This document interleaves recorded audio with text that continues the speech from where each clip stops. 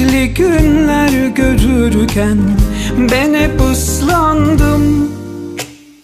Çok uzaktı aşk bana bu yüzden hayattan saklandım.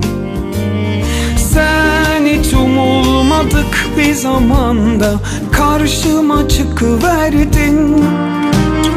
Afalladım Sayın Arzu hanımefendi, yanınızda bulunan Yasin Çakmak beyefendi, hiç kimsenin baskısı altında kalmadan kendi iradenizle kendinize çok olarak kabul ediyor musunuz? Evet.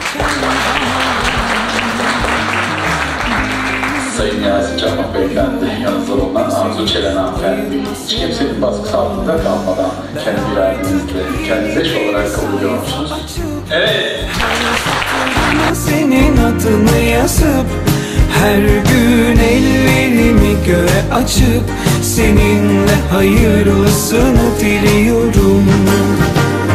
Kalp yoluna adım atıp Aşk izlerimi de peşime takıp Son nefesimde başucuma bakıp Yanımda seni görmek istiyorum. Seninle hayırlısını diliyorum